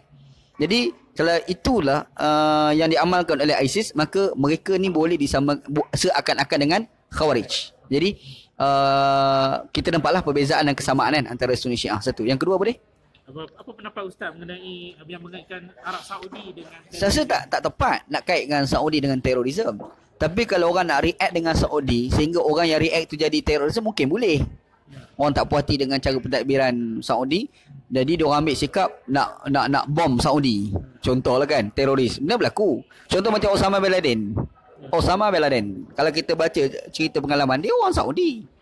Osama bin Laden dia antara sebab yang menyebabkan dia ni boleh jadi golongan yang duduk dekat celah bukit berperang lah apa tu sebab dia nak react pada Saudi. Apabila Saudi ni berkawan rapat dengan mereka. Ini antara faktor lah. Bukan itu satu-satunya faktor. Salah satu faktor. Maksudnya itu yang berlaku pada Osama Maksudnya kalau Saudi tu sendiri nak buat pada teroris itu apa tepat? Tapi Saudi menuduh Qatar menyeru kepada keganasan pun tak betul juga masalah Saudi pula. Kan dia tak puas hati dengan Qatar tak puas hati dengan ikhwan muslimin dia tak puas hati dengan Qaradawi. Sampai dia tuduh itulah tempat datangnya terorisme. Tak tepat. Ini tuduh pada saya itu permainan politik lah. Itu permainan politik eh. Dua. Yang ketiga? Uh, dua soalan. Nah. Bukan ada lagi ni dua ini konsep. Konsep dah jawab tadi. Okey, um, okey Ustaz, tadi Ustaz dah sebut lah. Okey, definisi satu ni. Right. Soalan baca soalan tu. Kan, Ustaz, apakah konsep keadilan berdasarkan Al-Quran dan As-Sunnah dan apakah meletakkan sesuatu itu pada tempatnya itu ada asalnya dari ulama Islam? Okey eh. Uh, sebenarnya dalam kalangan ulama Islam, ulama tak pernah sepakat definisi adil. Uh, Qaradawi dia kata adil ni adalah i'taqul i'taqul haqqin haqqah, berikan hak pada mereka yang berhak. Itu Qaradawi lah. Ada seorang nama Dr. Abdul Rabbin Nabi. Dr. Abdul Rabbin Nabi. Dia buat satu tesis PhD di Al-Azhar. Nama nama tesis dia Itar uh, Fiqhil Muwazanat. Kan? Jadi dalam buku tu dia sebut adil ni adalah muwazanat, perimbangan. Imbang ya. Imbang. Maksudnya kalau kalau kita ni berdiri di tengah jalan pada pukul 3 pagi, mungkin itu adil pada 3 pagi, tapi tidak adil pada pukul 6 petang. Sebab 6 petang ni banyak kereta. Dia maksudnya dia kena diimbang baik dan buruk di samping kena tengok konteks masa tempat dan situasi. Ha, mana itu dua. Cuma definisi yang popular dalam kalangan ulama Islam ulama Islam dulu. Kan? Ha. Hang jangan duk bantah benda tak masuk lain. Apa itu adil? Dia kata adil ni adalah uh, wadu'u syai'in fi mahallih, meletakkan satu pada tempatnya. Alright. Soalannya, definisi ni popular. Tapi yang bangkit persoalannya, siapa yang mula-mula sekali membuat definisi begitu? Okey, dalam banyak kitab-kitab uh, banyak menyatakan definisi itu. Antara yang kata ni dalam kitab Mafatihul Ghaib. Imam Fakhruddin Ar-Razi pun disebut dalam kitab dia, adil adalah wad'u syai' fi mahallih, meletakkan sesuatu pada tempat dia. Tapi kita tak tahu siapa pemula, siapa pemula. Yang kita tahu yang dalam kitab Nahjul Balaghah. Okey. Kitab Nahjul Balaghah ni masalah ni kitab yang dirujuk oleh orang-orang Syiah. Ya. Dalam Nahjul Balaghah dia menyatakan yang mengatakan adil itu wad'u syai' fi mahallih adalah Sayyidina Ali. Sayyidina Ali. Kalau kita kata kalau diandaikan benar apa dinukilkan dalam kitab Nahjul Balaghah menandakan pemula bagi definisi adil itu adalah wad'u syai' fi mahallih itu adalah Sayyidina Ali. Kan? Lepas tu cuma masalah sekarang definisi itu sudah popular dalam kitab-kitab sunni juga. Uh, itulah masalah definisi. Cuma uh, dalam al-Quran kalimah adil ni ada adil, ada al-mizan. Ada al-qist. Kan? Al-qist kan? Awak hang nampak lain macam kan? Dia ada al-qist, dia ada al-mizan. Dia ada al-adlu. Beberapa kalimah. Benda ni uh, saya pernah bangkitkan dekat Dr. Jasir Audah. Tanya Dr. Jasir Audah. Apa beza dia? Dia kata tengok dalam tradisi. Dalam perundangan. Adil ni adalah al-mizan. Al-mizan. Tapi dalam sosiologi, adil ni dilihat bawah kategori al-qist. Al-Qis ni dia bahasa kita dia Adil lah, kita jemaah adil lah. Tapi Adil lah. dia kan kita... tak, tak ada terjemahan lain. Awak, nak, ni ini problem bahasa kita lah. Problem bahasa kita. Dalam bahasa Inggeris pun ada beza kan? Apa dia adil, uh, apa justice, satu lagi apa? Equality apa? Equality ya. Kan bahasa bahasa Inggeris kan? Tapi semua tu bermaksud adil lah. Kesamaan. Ya.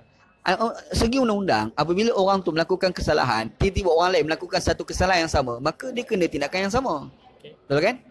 Tapi dalam isu uh, melibatkan sosiologi, dia tak boleh buat macam tu.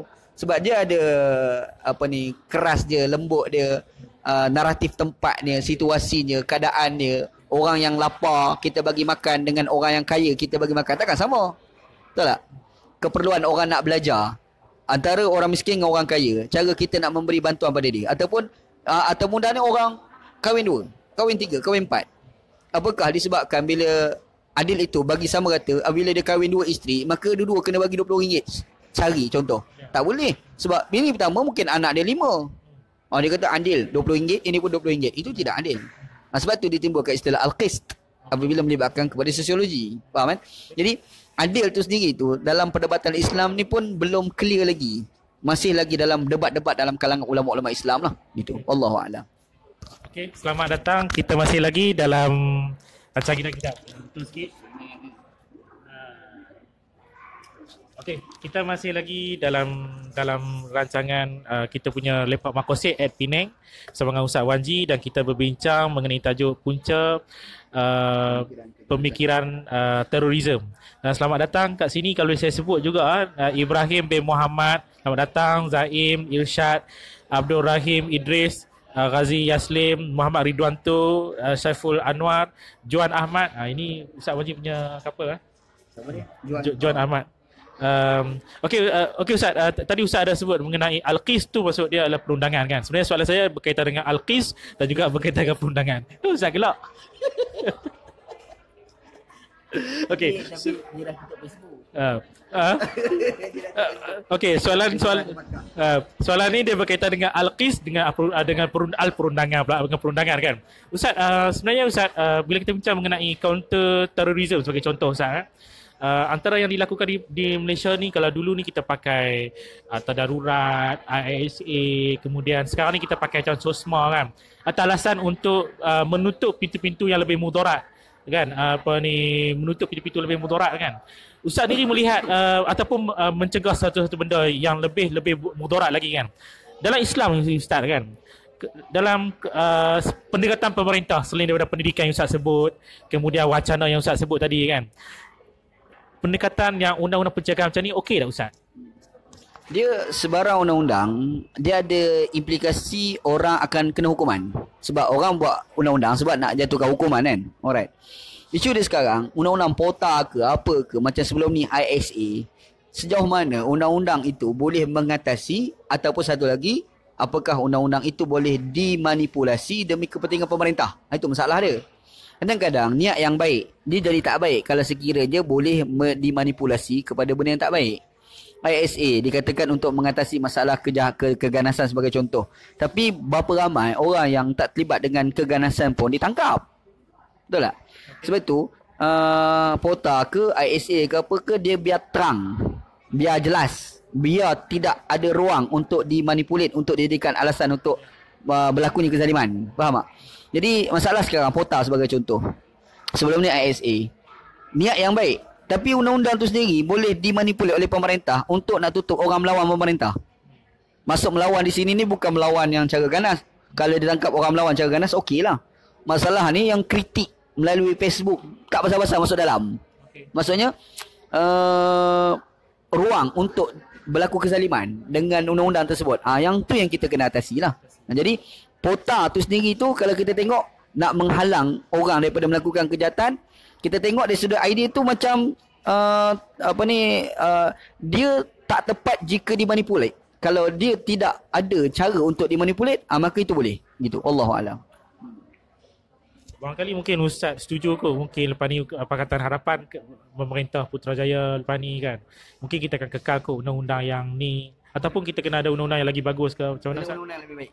Kita kena buat undang-undang yang boleh ada ruang untuk orang buat kezaliman tapi kita kena buat satu undang-undang yang betul-betul boleh mengatasi kejahatan yang bakal berlaku. Ha, dia kena otak kena buang sebab dia mudah dimanipulate. Kan? Uh, dia lebih kurang macam SA, bahkan dia lebih jahat daripada SA. Kan? Uh, tu masalah dia Allah Allah.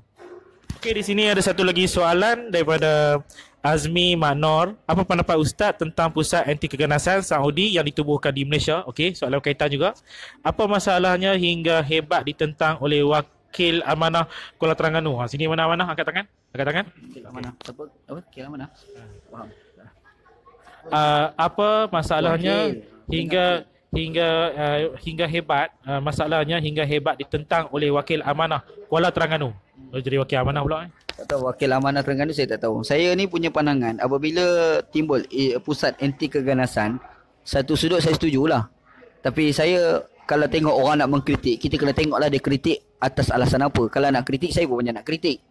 Saya nak kritik biar betul-betul benda tu memang tidak boleh menjadi ruang untuk kerajaan melakukan kezaliman. Tu ya. Kan? Sebab macam contoh pota, kita boleh ditangkap dengan semata-mata kita ni pakai seluar dalam warna apa. Dia syak kita pakai seluar dalam warna kuning kot, dia boleh tangkap. Apalah otak dia? Mana boleh macam tu kan? Kita pergi demo ni nak tangkap masuk-masuk ni. Kau tak boleh macam tu. Sebab Islam pun ajar al-aslu bara'ah az-zimmah. Al-aslu bara'atu zimmah. Seseorang itu perlu dibuktikan dia memang bersalah. Mana boleh kita hukum orang yang tidak dibuktikan sebagai bersalah kan?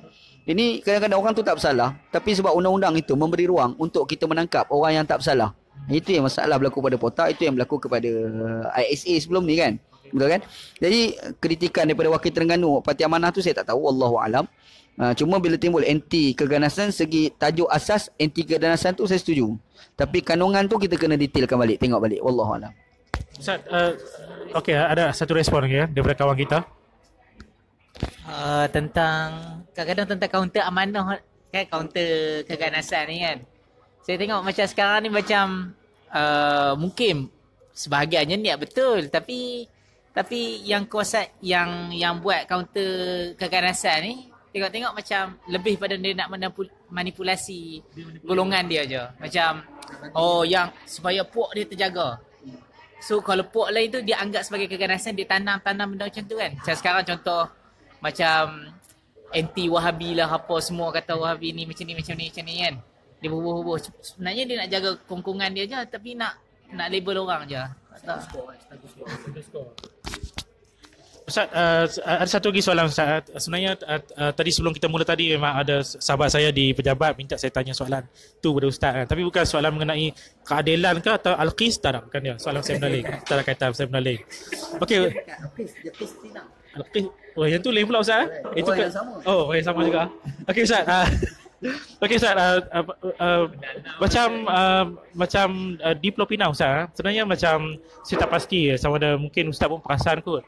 Ada beberapa masjid-masjid yang sangat sangat apa ni tegar apa ni uh, program-program keagamaan dia tu antara yang lain dia tu dia membaca kitab-kitab macam contoh macam Ma'alim Fitori, Fidratil Quran, lepas tu kitab-kitab Islam dan kufur kan. Uh, muqaddim akid, mukadimah akidah uh, muslim semua tu kan. Ada setengah pendapat mengatakan bahawa um, Ya, kalau kita tengok dah IC tu sendiri sebenarnya kan. Uh, kebanyakan mereka yang terlibat IC ni adalah mereka yang direkrut. Walaupun dia rekrut mula dengan daripada Facebook kalau ikut uh, Datuk Ayub Khan kan.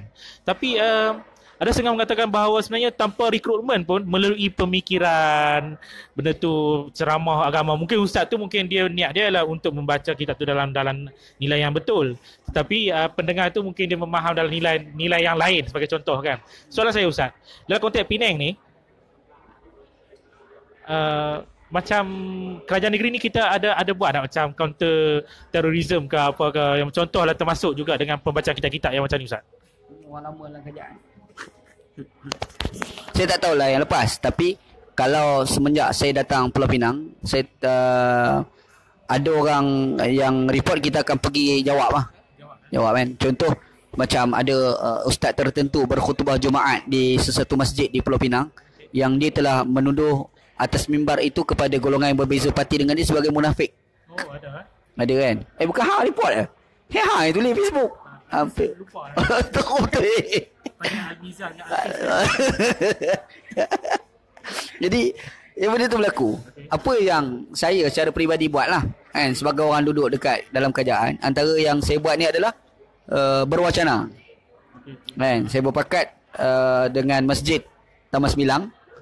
Jadi uh, jawatan kuasa Masjid Taman Sembilang tu uh, setiausaha dia dengan pengerusi dia agak apa agak-agak pro lah untuk nak mengatasi masalah tu dan mereka menyediakan pentas untuk kita adakan wacana. Tapi sedihnya dia orang tak datang lah.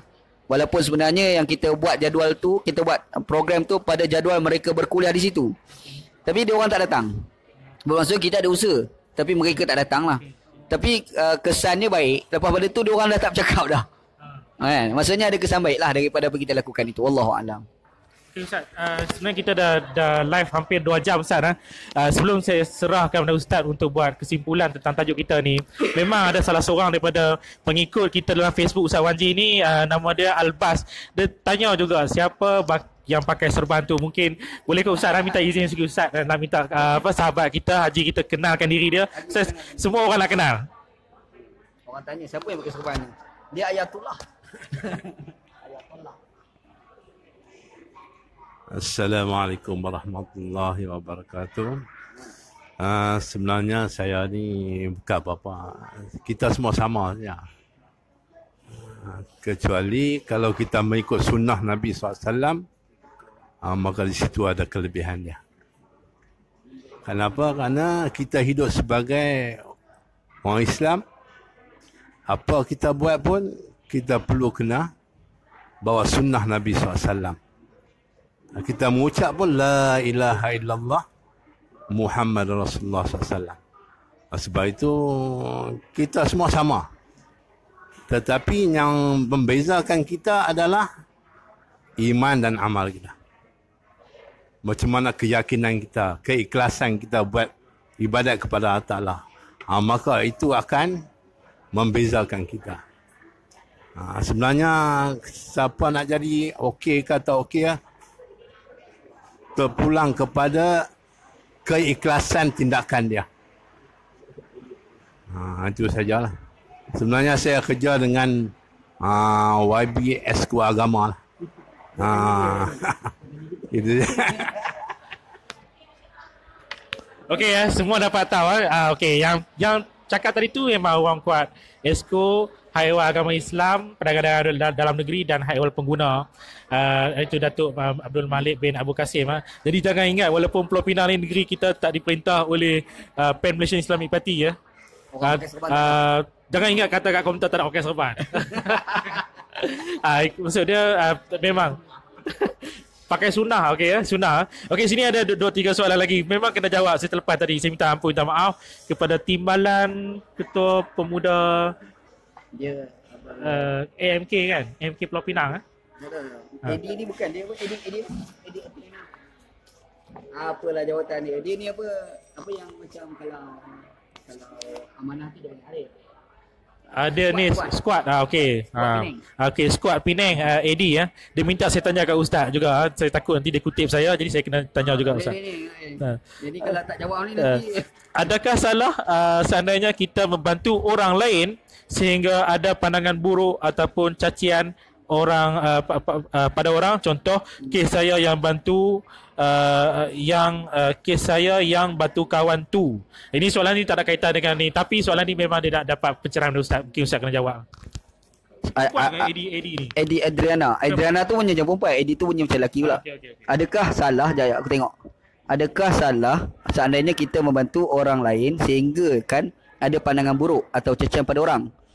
Contohnya kes saja yang batu kawan tu. Alright. Dia isu ni ada dia tolong orang, Eddie ni. Okey. Lepas tu orang serang dia, orang maki dia. Sepatutnya orang tak bolehlah maki dia sebab dia dah tolong orang. Dan orang kalau dia dah tolong, uh, kalau Eddie telah tolong orang, kita ni bukan maki dia, patut kita kena puji lah tindakan dia. Tapi Eddie kena terima hakikat, kita dalam arena politik, memang rencam politik ni begitu eh. Sabarlah, mudah-mudahan Allah Ta'ala bagi pahala besar insyaAllah.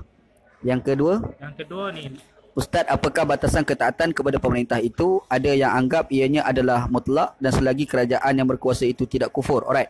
Dia macam ni eh. Uh, asas politik adalah kebaikan. Kita letak asas eh. Al-aslu fi asyasah al-maslahah. Asal bagi politik adalah kemaslahatan eh. Maslahah ni pula kepada rakyat, bukan kepada pemerintah. Alright. Ada hadis Nabi sallallahu alaihi wasallam. Nabi kata man arada an yansuha li sultanin bi amrin fala yubdina lahu alaniyah. Kalau kamu nak tegur pemimpin, kau jangan lakukan cara terbuka. Dalam hadis tersebut sambungan ni kena pegang tangan pemerintah, kita kena bisik dekat dia. Eh, apa? Fatul Bari. Fathul Bari. Alright. Hadis ni kalau kita nak adapt dalam kerangka sekarang, bayangkan kalau kita nak tegur tu adalah rosmah jadi masalah. Sebab pegang tangan jadi isu dah. Weh, lain macam jawapan tu. Eh, Rosmah pun macam Kak dah pakai Pakai sarung tangan eh. Oh, okey okey. Oh, okey eh. Oh, sangka baik pada Kak Wan kat tinggi eh. Eh, Sorry, ke rosmah. Ah, sama. Uh, sama eh. Kita budak wanita semua sama. Ha. Alright. Hadis ni sebenarnya kalau kita baca sampai habis, dia menceritakan tentang apabila ada orang menegur pada pemerintah yang menyebabkan dia yang menegur tu boleh dibunuh. Okey. Itu hadis tu menandakan hadis itu yang dikatakan tidak boleh menegur pemimpin secara terbuka jika boleh mendatangkan kerosakan lebih besar. Tapi jika kita tegur itu boleh mendatangkan kemaslahatan lebih besar, maka dia tidak termasuk dalam hadis tadi. Faham? Jadi kritikan tadi yang dibangkitkan oleh Muhammad Irfan tadi kan. Okey. Dia kata macam mana bila kita tengok hadis Nabi sallallahu alaihi wasallam tersebut yang kata kita tak boleh tegur. Sebenarnya dalam kerangka apa? Kalau kita tengok dalam kerangka dulu ya dinasti, khilafah terdahulu memang ya. Sebab benda ni kalau kita adapt dalam kerangka demokrasi dia berbeza. Faham eh? Jadi faham hadis dalam konteksnya. Jangan tengok hadis dalam konteks yang salah. Sebab implikasinya juga adalah salah eh. Gitu. Hang tengok apa? Okey, alright. Hmm. Apa lagi eh? Mana? Habis dah, habis. Okey, ha- habis. Ah, Statement polis kaitkan Ibn Taymiyah dengan keganasan macam ISIS boleh hurai sikit. Ah. Saya antara orang yang tak bersetuju apabila dikaitkan Ibn Taymiyah dengan pemikiran keganasan. Ah, okey. Tak setuju. Selalu sebut. Selalu. Uh, dan selalunya orang yang mengaitkan keganasan dengan pemikiran Ibn Taymiyah ni adalah orang Syiah. Oh, si- Selalunya. Orang Syiah. Orang Syiah memang gila Ibn Taymiyah. ha ni bukan Syiah tu nah. Tak tahu Wallahu a'lam kan. Kalau dia jadi Syiah pun kita nak buat apa? Kita boleh buat apa sebab dia polis. Dia selfie ya. kita jumpa kita selfie dengan dia lah. Kalau dia Syiah. Kan? Masa kita selfie tu kita tulis pula kat bawah selfie bersama orang Syiah. Kalau dia Syiah. kan? Sekarang kita tak tahu dia Syiah ke tak kan. Wallahu a'lam. Jadi bila orang kaitkan uh, ISIS ni, okey kenapa orang selalu kaitkan Ibn Taymiyah dengan pemikiran ISIS? Sebab dikatakan banyak orang yang terlibat dengan ISIS ni dia selalu quote kata Ibn Taymiyah. Eh, kalau lah kerana dia quote kata Ibn Taymiyah, maka dikatakan Ibn Taymiyah lah pemikiran uh, asas bagi pemikiran ISIS. Lepas tu kalau orang ISIS baca Quran baca hadis takkan kita kata Quran hadis sebagai puncak keganasan? Ha, betul kan? Jadi isu dia sekarang sejauh mana kemampuan kamu membaca pandangan Ibn Taymiyah? Saya tak tahulah sejauh mana kepahaman Ayub Khan itu terhadap membaca kitab Ibn Taymiyah. Kalau kita tanya kitab Ibn Taymiyah mana yang dia baca, satu persoalan juga. Jadi jangan terlalu naif dalam menilai sesuatu pandangan ulama lah. Ha, gitu. Wallahu a'lam. Okey, sebenarnya kita dah lebih Oh, perempuan. Perempuan ni ulama besar juga. Ha, di Seberang Jaya. Okey, uh, uh, okey sebenarnya kita dah dah dah live hampir uh, lebih 2 jam dah ya, dah 2 jam 5 minit lebih kurang macam tu ah. Okey, dah kita telah bincang satu tajuk yang menarik iaitu mengenai uh, pemikiran Okey, selamat datang kepada Daniel. Betulkah Islam mengajar orang berperang? Boleh jawab tu Ustaz? Ustaz? Daniel, lain kali datang lah awal. Orang nak habis baru hang datang. Daniel ni kawan-kawan kami eh, Daniel ni. Kan, hang datang awal. Hang dengar daripada awal. Aku dah bahas panjang lah. Daniel kan. Tak apalah, aku jawab lah. Perang dalam Islam bukan pemula. Perang dalam Islam apabila orang menyerang, kita mempertahankan diri. Satu. Yang kedua, apabila berlakunya kezaliman. Bila berlaku kezaliman, berlaku perang. Berlaku penindasan, pembunuhan. Jadi kita nak lawan kezaliman tersebut, maka di situlah timbul perang. Tapi kalau kita saja-saja nak start perang, itu tidak ada di dalam agama. Ha, tu. Wallahu alam. Okey, kita dah sampai Mempertahankan diri. Difa'i. Ha. Okey, kita dah sampai ke penghujung. Uh, tajuk kita bincang pada hari ini adalah mengenai um, punca uh, pemikiran uh, terorisme. Dan bersama saya Ustaz Wanji. Mungkin Ustaz Wanji boleh buat satu kesimpulan uh, secara tuntas mengenai tajuk yang kita bincang selama 2 jam ni dalam lepak Makosid eh, uh, uh, apa ni Penang ni dekat sini sekali dengan promote apa program terdekat ni saya kata ada apa usahawan sebagainya kan. Alright, uh, kesimpulan yang kita boleh buat untuk perbincangan kita pada petang ni sebenarnya uh, keganasan ni dia tak boleh selesai dengan semata-mata diatasi secara undang-undang dan juga hukuman tetapi dia kena selesaikan juga daripada sudut pemikiran jadi pemikiran ni dia boleh lahir disebabkan salah dalam penafsiran teks Al-Quran dan hadis Nabi sallallahu alaihi wasallam. Jadi hadis tu tak salah. Quran tu tak salah. Yang salah ni orang menafsirkan Quran dan hadis Nabi sallallahu alaihi wasallam. Jadi kalau kita boleh selesai yang tu, insya-Allah pemikiran terorisme ni boleh diatasi. Orang yang jadi teroris sebab dia pemikiran. Apabila dah ada teroris, maka timbullah undang-undang. Sekarang ni kita banyak selesai sudut undang-undang, kita tak selesai pada pemikiran. Sebab itulah teroris ni tak akan habis. Jadi kalau kita nak selesai tu, kalau pokok tu kita kena cantas tu pada akar tu. Akar tu kena cantas. Sekarang ni yang kita dah buat, kita tak cantas pada akar. Kita cantas pada batang dia tu kan. Itu masalah. Jadi kita kena selesaikan di sudut pemikiran. Itu kesimpulan lah yang kita boleh buat pada petang ni. Cuma sebagai pengumuman, 18 hari bulan ni kita ada buat lepak makasid. Okey. Bertempat di kam, uh, uh, Gambir apa? Uh, Bukit Gambir. Bukit Gambir. Berhampiran dengan USM. Nama kedai tu Khalil. Restoran. Khalil, eh? Khalil. Bukan Khalil Abdul Hadi eh. Bukan, bukan, bukan. Luar lain. Dia kedai Khalil. Kita buat kat situ. Uh, ada bilik cermin kat belakang masuk kat situ. Jadi kita buat kat situ. Dan kita nak jemput um, apa ni Zul Lazim. Zul Kifli Mat Lazim. Abang Zul ni, dia ni ketua bersatu uh, bayang, uh, balik pulau. Balik pulang. Balik pulau. Kan? Dia ni korporat berjaya. Uh, dia dalam bisnes ni boleh dikatakan kategori antara orang yang berjaya lah di Pulau Pinang ni Melayu yang berjaya di Pulau Pinang. Kita jemput dia, kita bincang berkenaan dengan uh, macam mana nak bina uh, membina pemikiran progresif dalam ekonomi. Kan? Uh, dan rasanya dia orang tepat lah untuk kita jemput. Lepas tu lepas ni kami dah rancang untuk nak buat projek kitab kuning. Okey. Kan? Amin antara terlibat insya-Allah. Okey. Kita nak ambil kitab-kitab lama. Ah pegawai di pejabat Datuk Malik. Kan? Ni. kan? Bunyi pejabat esko ni kasak kasak. masih single. Ah, Masih single lah. Amir, single lah. tak. Oh, tak takut takut takut takut. takut. Akan. Ah. Okey, uh, nanti kita akan buat wacana kita, secara WhatsApp, uh, secara live Facebook. Kitab-kitab kuning macam kitab Shadow Fatoni, macam kitab Bakur Al-Amani pada eh. So kita akan buat bedah buku macam tu. Uh, bedah buku salah satu tapi yang ni kitab kuning kita nak buat. Yang bedah buku ni pun kita akan buat juga. Ha, ini antara perancangan kita buat lah. InsyaAllah lah sebab uh, banyak buku-buku yang kita dah baca. Cuma kita ni buku ni baca seseorang je. Kita nak kongsi dengan orang yang melayari Facebook ni sama lah. InsyaAllah kan. Uh, mungkin itulah pengumuman. Wallahualam. Okey, dengan pengumuman itu uh, berakhirlah kita punya program kita pada petang ni. Kita jumpa lagi nanti pada 18 hari bulan pukul 8 malam bersama dengan Tuan Haji Zulkifli Mat Lazim. Uh, bincang mengenai usahawan uh, uh, bagaimana untuk membina usahawan uh, di Melayu di di Pulau Pinang. InsyaAllah. Assalamualaikum warahmatullahi wabarakatuh dan salam sejahtera. Al-Qis adalah keadilan.